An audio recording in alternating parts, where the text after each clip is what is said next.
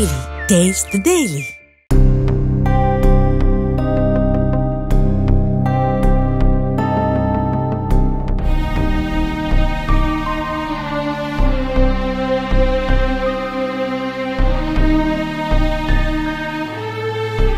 செங்கல்பட்டில் பைக்கில் ட்ரிபிள் சென்ற சட்டக்கல்லூரி மாணவர்கள் பெயிண்டிங் வேலை முடித்து பைக்கில் வீட்டிற்கு திரும்பிக் கொண்டிருந்த நந்தகோபால் என்பவர் மீது வேகமாக மோதியதில் நந்தகோபாலும் சதீஷ் என்ற சட்டக்கல்லூரி மாணவரும் சம்பவ இடத்திலேயே உயிரிழந்தனர். மற்ற இரு மாணவர்களும் சாலையில் நடந்து சென்ற ஒருவரும் விபத்தில் படுகாயமடைந்தனர்.